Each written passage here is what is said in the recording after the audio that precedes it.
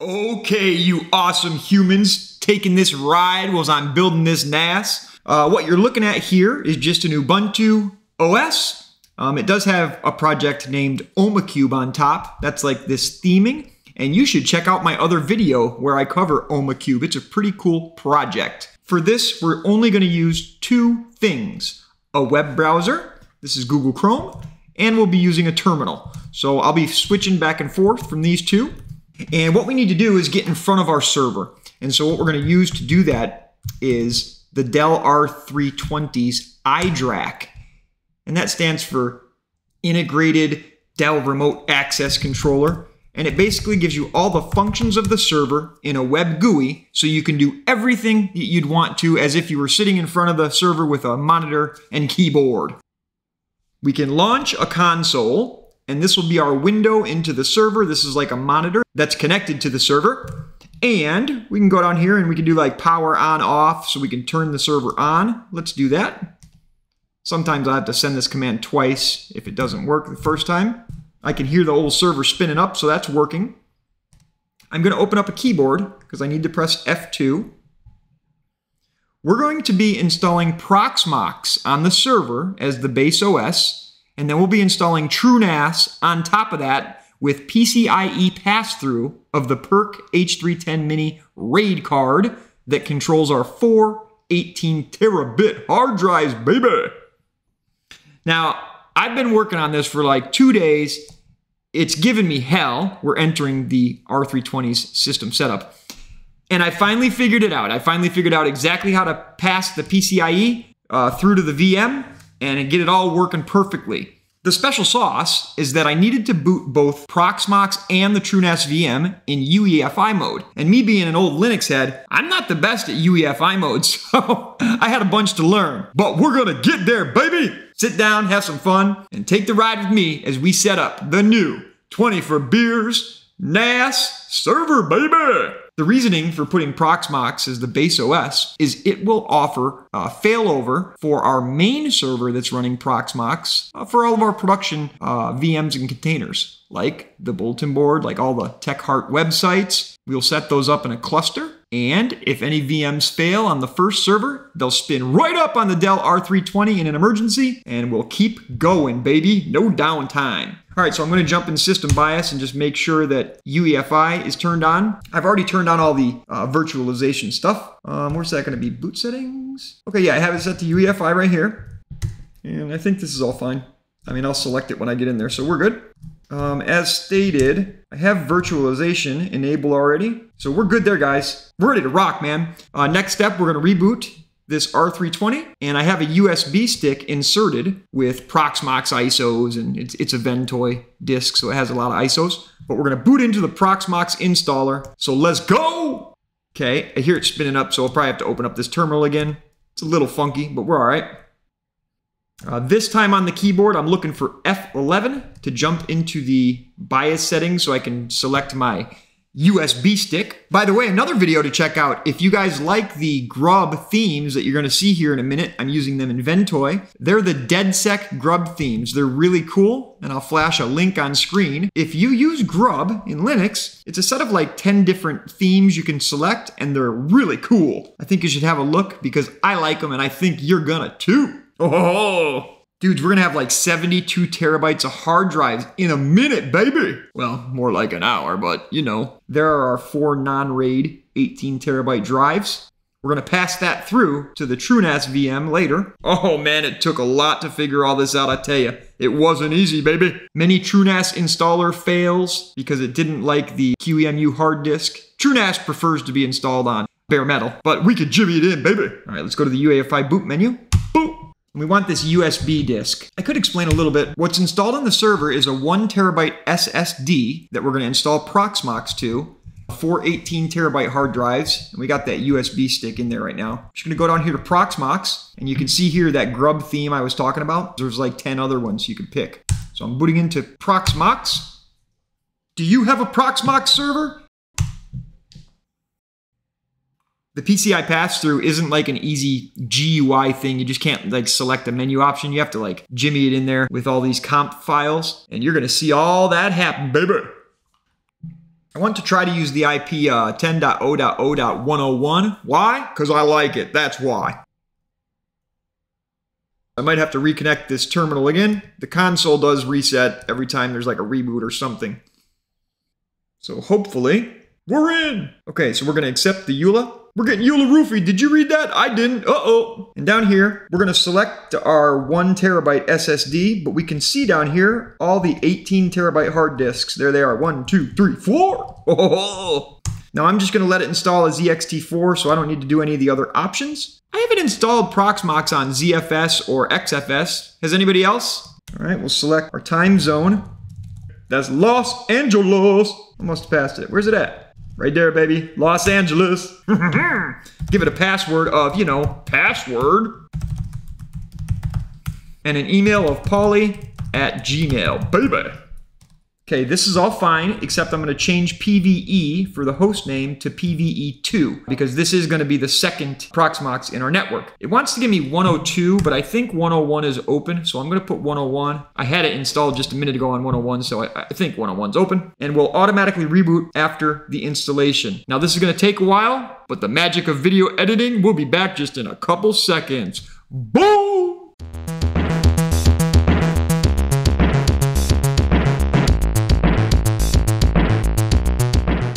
All right, baby, we're done. So I'm gonna reboot. It might have already rebooted itself. Uh, so Proxmox is now installed on our SSD. It's going to reboot, and once that's complete, this console will break again, but then it will be available in the web GUI at 10.00.101, port 8006. So I'll let the server boot up, and then we'll jump into the Proxmox GUI over here, Oh boy. What do y'all think about this iDRAC? This one is unique. On my other server, there's a dedicated NIC for iDRAC 8. On this one, it just works like through the main NIC of the server. There's not a dedicated port. But I think it's really cool. You can get in all the server information from settings to all of your hardware. And I think it's pretty fresh, man. I'm really a fan of the Dell PowerEdge line of servers. It's all I've ran, but I did play around with some HP ProLiants and I really, really like the Dells. They fresh. And here we can see that Proxmox is up and running. So I'm going to now close the console to the server. And we'll open up a new browser. And we'll go to that 10101 uh, port 8006. We'll have to select advanced and allow it. And look at this, baby. We're into our Proxmox install. How cool is this, man? I love it. Okay, now, do you see that nag that just popped up? This is because we don't pay for Proxmox. We're gonna use the community version. So let me show you a really cool uh, tool that you can use search for Proxmox helper scripts.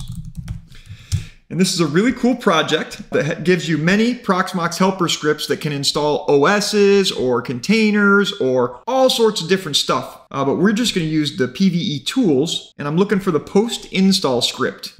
What this will do is it'll go through and correct all of our repositories, update the system, blah, blah, blah. Uh, one mistake I first made when using these uh, PVE helper scripts is I was trying to run them while SSH'd into the Proxmox box, and that's not how they work. You must go through your node and the shell. Let's get some more room. All right, we'll paste in that command and let's run it brings up the script and it'll do everything for us. So let's run the post install script. The package manager will use correct sources to update and install packages on our PVE. Yes. PVE Enterprise repository is only available to users who have purchased a PVE subscription, so let's disable that. Yes. We're going to enable the PVE no subscription repo. Yes. Correct Ceph sources. Yes, let's do that. Uh, I do not want PVE test. I just want a nice stable Proxmox. I don't need any of the test packages. And we will disable the subscription nag so that little pop-up doesn't show up anymore. Always support your Proxmox VE helper scripts project. I have not done that yet, and I probably need to. I'm going to disable high availability right now, even though later I'm going to set that up when I make a, a Proxmox cluster out of my two servers. But for now, I'll just leave it disabled. And let's let this update the entire system, and I'll be back with y'all in a little bit. Oh, doing things. Yes to update, and I'll flash back with the magic of video. All right, so it wants us to reboot Proxmox, and I'll also do that, and I'll catch y'all right back on the flip. It's gonna take my server two minutes, but you'll be right back. All right, baby, we're back. What do we have here? We have Proxmox installed on our server. First things first, let's check what that helper script did for us. Let's go down here to update. Maybe it's in PVE. Yeah, update. Here we go. Updates and repositories. We already ran the update. I just want to make sure that Ceph uh, repo is out. And looks like it is. Yeah, the Ceph Quincy ones are down here and they're out. So that's good. Let's go look at our storage. In data center storage, we can see we have our one terabyte SSD in local LVM storage, but we don't have any like ISOs. I have another NFS server that I have all my ISOs on. So let's add an NFS. We'll ID it as ISOs. Uh, the current NFS server that we are actually replacing is there. And the export directory is uh, Proxmox ISOs. I think it's just like that. Uh, that should add, let me add here though, ISO images. So it'll hold disk images or ISO images. And let's add that. Oh yeah, nice and sleazy. And let's also add another server that I have, a Proxmox backup server. This will later allow us to back up any VMs that we have on here. Um, that one's gonna be at uh, 10.0.0.249. There we go. And it's root at PAM for the user and my password. Password. We also have to add a fingerprint, which I've already copied, so I'll just paste that and you won't see this because no. The data store is named PBS underscore backup, and that should be good. Let's add our PBS. Boom! So now we have ISOs that we can pull from to install VMs with, and we have our Proxmox backup server that I'll use later to back up those VMs. Um, so let's first install TrueNAS Scale, and then later we'll work on the PCI pass-through. So let's create a VM. We're gonna name that sucker TrueNAS Scale.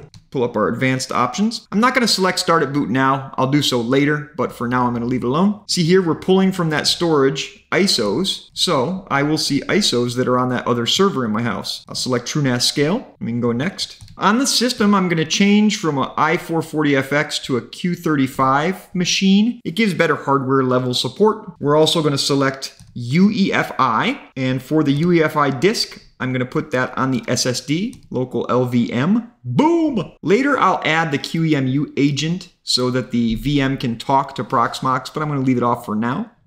So now for the TrueNAS disk, the hard disk, I'm going to keep that on local LVM, so the SSD. 32 gigabytes is fine. I'm going to select SSD emulation because our hard drive is an SSD, and I'll select discard. This like, I don't really know how it does it, but it allows data to be deleted when you delete data from the TrueNAS. Somebody told me to do it, all right? Click discard.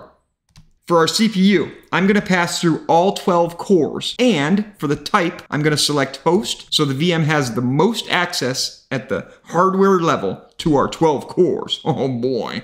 All right, memory. I currently have 24 gigabytes in this server. We're ordering another 128 gigabytes, so I'll change this later. And since the main function of this server is the TrueNAS scale, I'm going to put 22 gigabytes right to this VM.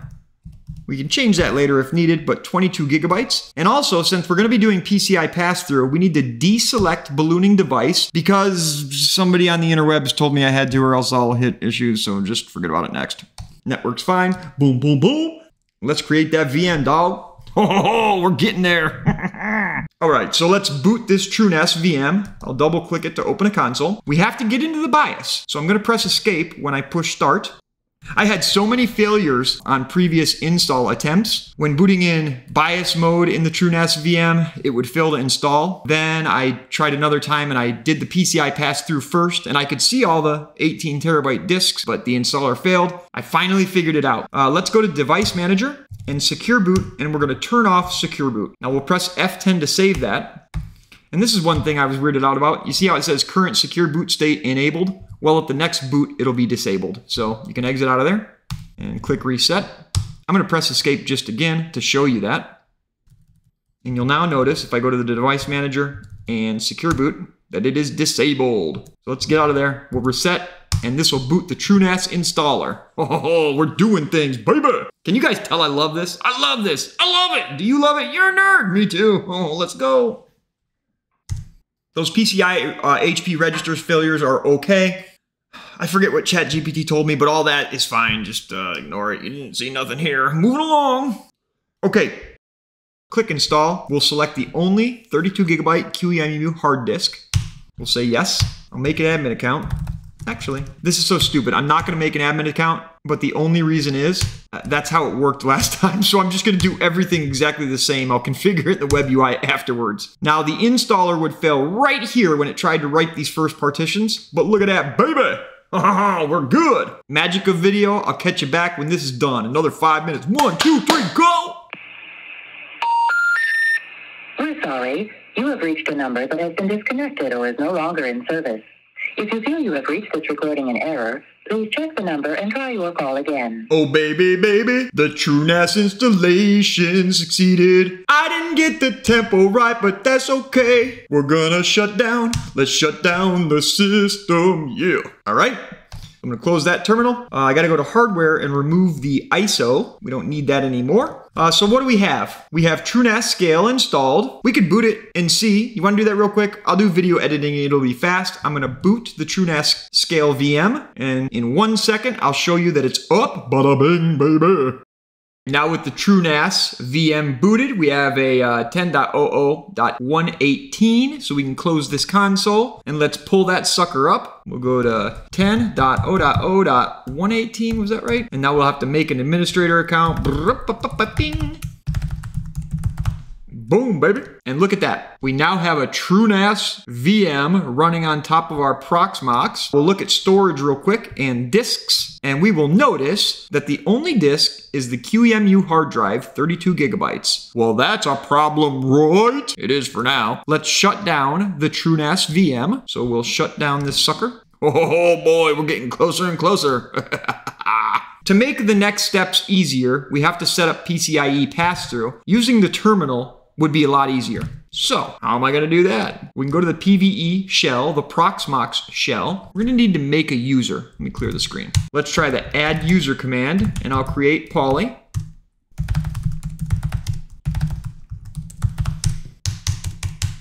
And look at that, we have a Polly account. Boom! Um, let's also install apt install sudo so that we have sudo. We want Polly to be an admin user. Now let's do a group mod. Is that the command group mod? Group mod dash lowercase a dash g. The sudo group for user poly 420. Oh, right, right, right. User mod dash a capital G sudo group for user poly. There we go. Now we can su into the poly user. Um, we'll go home and we can do sudo ls to test sudo out. And that works. Okay, now we're in the Poly user. Let's do an SSH uh, keygen. Oh, we're gonna set up SSH keys, baby. There we go. And I'll clear the screen. I'm gonna add some SSH keys. One is gonna be for this YouTube, you know, testing laptop, and the other's for my main laptop. Um, I'll hide those on screen, but let me add those really quick. And then we'll do a vim uh, .ssh authorized keys. There we go. And we're going to do one for the YouTube test laptop, Omakub. And I'll paste that in. We'll hide it from you. And then this one is for my Arch Framework laptop uh, on 705. And I'll paste that in there. Boom! So now I have SSH access from this test laptop and my actual laptop. We can try that out. SSH, Poly, at 101.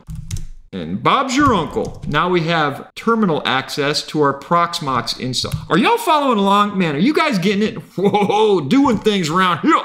All right. Now we're going to set up PCI pass-through on the Proxmox host. Server, host, OS, Pro you know, Proxmox, whatever. Let's do sudo vim, etc., uh, kernel, and cmd line. Inside of that, we're going to put Intel underscore IOMMU equals on, and that's for virtualization. We'll save that. Boom! And we're going to run sudo proxmox uh, boot tool refresh. Okay, so that sets up virtualization on the host uh, when we boot. All right, getting things done. Now we have to add some kernel modules, so we'll edit, etc. Modules. And we're going to add down here VFIO, and then a few VFIO parts. IOMMU underscore type 1, boom. Then PCI, and then VFIO, uh, vert, vert, no, ver, verk, verk FD. Verk, yeah, okay, yeah. So we're adding these kernel modules, VFIO, VFIO IOMMU type 1, PCI, and verk FD, baby! Let's save that file. Uh-oh. Bang.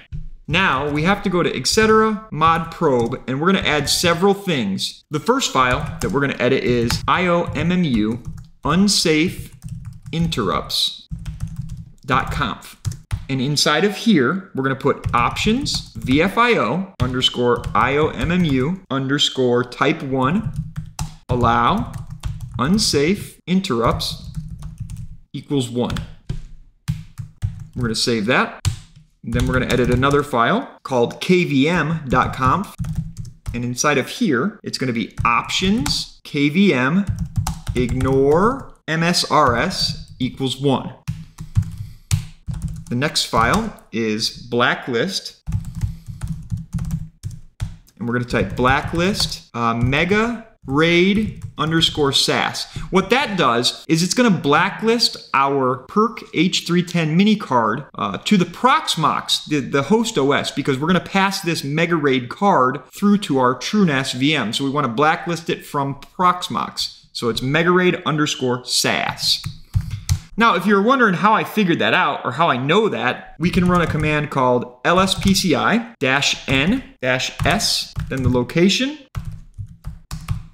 and get the information for our integrated RAID card, right? And way down here, you can see that it's Mega RAID SAS. It's currently using the Mega RAID SAS kernel, but we want it to use the VFIO kernel. So that's what that blacklist file was all about. We also want to take note of this uh, location. I don't know if it's called a location or like a, it's like the ID of this card. And we want to edit the VFIO.conf again. And then here we want options, VFIO-PCI, IDs equals 1000-0073. Uh, that's the location of that card we just stated. So we're going to load that card with the kernel module VFIO-PCI. Matches up with this. Did I get it right? Options, VFIO-PCI, IDs equals 1000 colon 0073. uh, after all those, we're going to have to do a sudo update init ramfs uh, dash u and then proxmox likes dash k all. Making the magic happen, baby. I love it. It took me two days to figure this out. Trust me. Are we having fun yet? I'm having fun. Oh boy. Okay, with that finished, we're going to reboot our Proxmox server. So I'm going to launch our server console just so we can see the reboot. There's that. And I can jump over to our console. We're SSH into Proxmox and we can do sudo reboot now. And that should reboot our server. And hopefully after this reboot, PCIe pass-through will be working. We just have to add it to the VM. Okay, Proxmox is rebooted. So I can close that down. Our Proxmox GUI should reload, and it does. We can go back over here clear. We'll SSH back in to our Proxmox server. And now we have a TrueNAS server with only one disk, but our PCI pass-through should be working. So let's go to the TrueNAS scale VM's hardware, and we're gonna add a PCI device, baby! We're doing it raw, raw dog in this device. We're gonna go right down here to Broadcom LSI, the Mega RAID SAS. Select that, and then we're gonna select all functions and PCI Express, guys. Boom! We can do a couple tests. Over on the Proxmox server, we can run an lspci-nnk and we'll grep out uh, dash A301 colon 00.0. Oops, got to put the right command in. Oh, again, lspci and we'll see our RAID uh, controller. And down here, if we look at the kernel driver in use, it's using VFIO PCI. That's what we changed. So that looks correct. We could also check for any errors by running dmesg. And we're going to grep out uh, dash i VFIO. No problems there. We can do sudo journal ctl uh, dash xe grep i VFIO, and no errors there. I see it is using the VFIO PCI kernel just like we want. So what this means is if the stars align and we run this TrueNAS scale VM, our 18 terabit hard disks should be available. Is this gonna work? Let's run it. Uh, one other thing we can do whilst that is booting, we can switch over to our terminal and we can go over to etc. PVE QEMU server. I'll have to su into root and let's cat our config file. This is for the TrueNAS VM and we can see it added host PCI 0 and the location that is our RAID card. So hopefully that's going to go over here, baby. I also like to do this. I like to copy um, our comp file to a backup file. Um, just for future, if we ever change our VM, this is the known working, hopefully, setup. So I'm gonna let that boot finish up and then we'll check it out. Oh, these drives are gonna be available, man. 418 TBs, let's go! Okay guys, the time has come. TrueNAS Scale is booted up. We can go over to our web browser and we're gonna type in, well we don't have to type in, we can just reload. Let's log in as our admin user. Let's see, are these drives gonna be available? What do you think? What's the high-low? Oh look, I already see them! Boom! There's our four 18 terabyte hard disks. Success! I'm super happy because this literally took, I mean, I, we could even say 48 hours, but there was a lot of testing. I have video for it, but I just thought I'd include the special sauce. But yeah, we're here, man. Boom! So this is gonna be my setup, guys. We have Proxmox installed on the Dell R320. We currently have a CPU in the Dell R320 that has 11, 12 cores, I'm sorry. I ordered the fastest CPU, and that comes in tomorrow. You're gonna see video here in a minute, but let's try to create the pool. I'm not gonna share creating the data sets because that has permissions and everything else, but let's create this data pool out of our drives. Oh man, I'm stoked. So we're gonna click create pool. Let's name this pool. It's going to be Speaker Office. Now, that's what my last NAS is named. I won't go into why, but Speaker Office. We'll do encryption. AES 256, and I'm going to download the key, but I'm not going to share that with y'all. We can click Next. Scroll down here. We can click next. Uh, the layout for us, we're gonna make a RAID Z1. What that means is, out of our four 18 terabyte drives, one of them will be for parity or redundancy, whatever it is, we lose one drive. So we're gonna have three times 18 terabytes available data to write to, but any one of those drives can fail and we won't lose any data. So we're gonna make a pool of four drives in a RAID Z1. We gotta select our disks. Now, I only see one here. How do I select more than one? Manual disk selection, maybe? Let's see. I don't know where to put these. Okay, we're going to click Add. We have a RAID Z1 up here. Um, let's get our four 16 terabyte drives. There's one, there's two, there's three, and there's four. So SDB, CD, and E. We'll save that. Okay, that's going to create one VDEV. So we're creating a pool with one VDEV of four drives in a ZFS1. We'll click next. We're not going to select any of these other disks for log, cache, spare. We might add those later. On this server, I do have another SATA port on the motherboard that I could add four drives to. But for now, we're going to pass all this off to RAM. And as I stated earlier, we're ordering 128 gigabytes of RAM. We'll see how that runs and we'll add disks as needed for these other options, log, spare, cache, metadata, and deduplication. So to review, we have a pool name, Speaker Office. We have encryption, baby. It has four disks. The estimated usable raw capacity is 49. 11 terabytes. It's actually 52 terabytes, but you know how that conversion works in Linux. Yeah, we get screwed. Let's create this pool, guys. Boom! Contents of all added disks will be. I'm so. I am so stoked. It's because of you guys that we have these discs, man. And let's create this sucker. 20 for beers! Thanks to all the people that participated in the fundraiser. It was awesome. And I thank each and every one of you, especially the two angels, Warson and Figment. Thank you. I appreciate y'all and the other 10 participants. You freaking rock! And actually, let's call them guys out. You ready? Thank you, Kirk Sprague, N2QFD, Unix Lord, Fulton, Mike the Mac, Slacker, Cosmo, G.N, I need your handle, Poindexter Fortran, Figment, A.C, handle please, and the aforementioned Warson, Giggity Gangsters. Now I'm gonna download the encryption key, but I'm not gonna share that with you, and I've got them, so I'll click done. And dudes, are you flippin' ready. We have a pool of VDEV of four wide 18 terabit drives, baby. Now, I believe in the background, this is going to begin to create that pool. My next steps are I'm going to create data sets. They'll be like child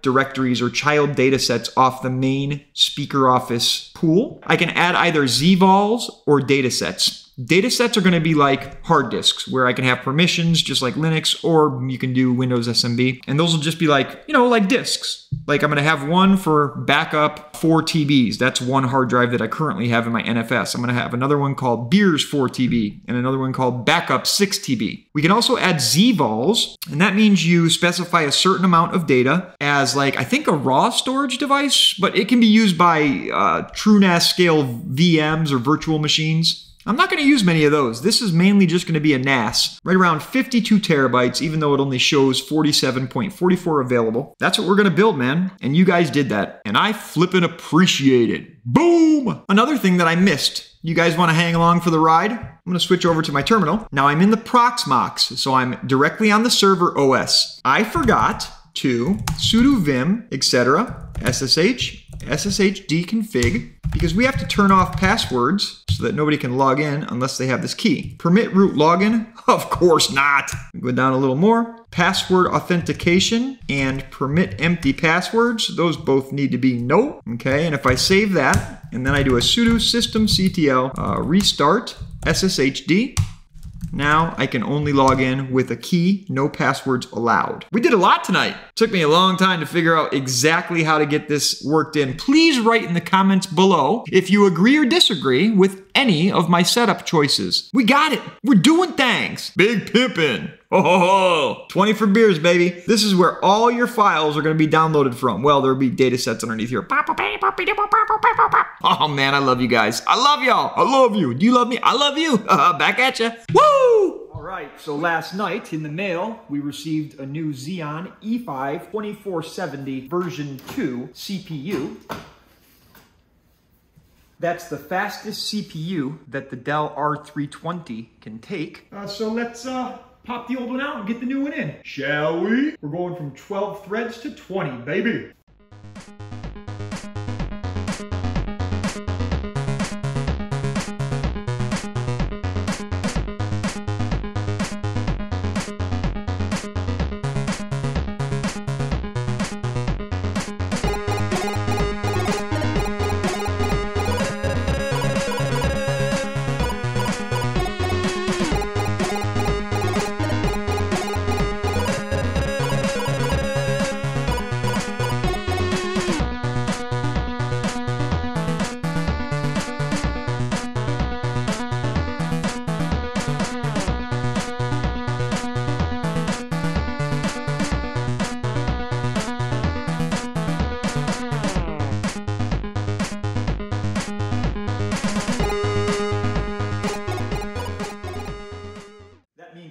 About done and we can button up our machine and test out the new CPU, baby.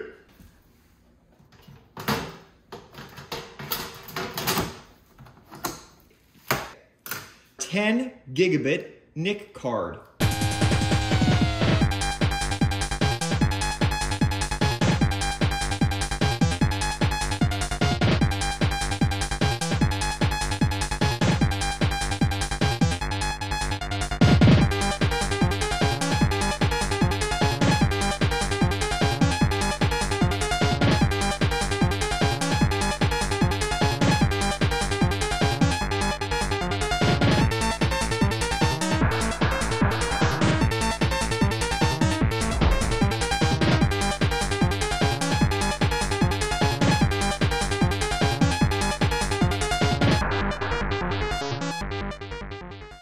We're gonna go make sure that shows up. All right, and here we are back on the main PVE Proxmox system. Let's go click on network now. And look at that. We can see our 10 gigabit device. Speeds are about to get quick, baby. Ho ho ho! Do you feel it? I feel it. All right, go on with your bad self. We're gonna open up the cloudninjas.com memory. I've got to say, I'm really impressed with the packaging. I'll open it up.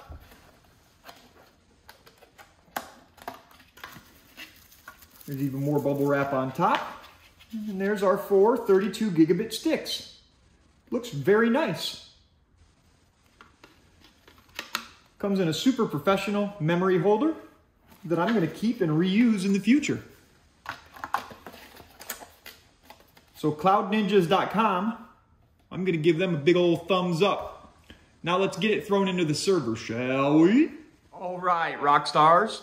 Hey, before we get going with the RAM, let's show you some of the fine folks from our fundraiser, shall we? I can pull out these drives. Ooh, this was an angel. Warson. That was an angel donation. One whole drive there, Warson. What a rock star.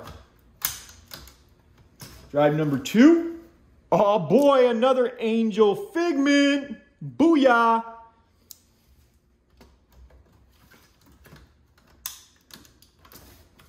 This one, we got Kirk Spragg, N2QFD, Unix Lord, Fulton, and Mike the Mac. Fundraiser 2024, baby!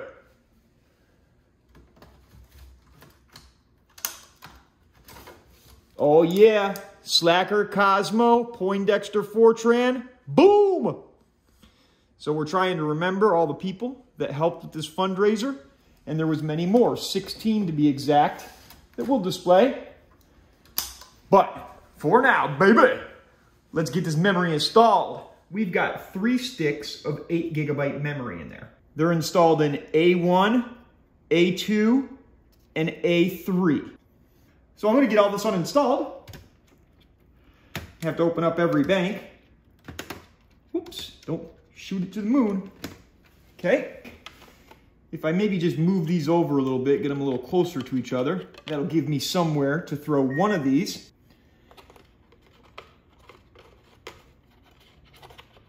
I think I can just move this uh, down here and I'll install the first two 8 gigabyte sticks. Those both installed. And now I'll start with the 32 gigabits. Make sure I get them the right way here. There we go, that's right.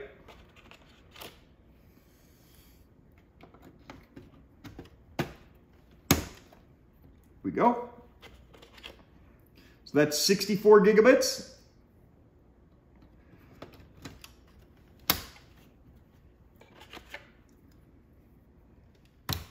We go. So that leaves us with 128 gigabits and another 16.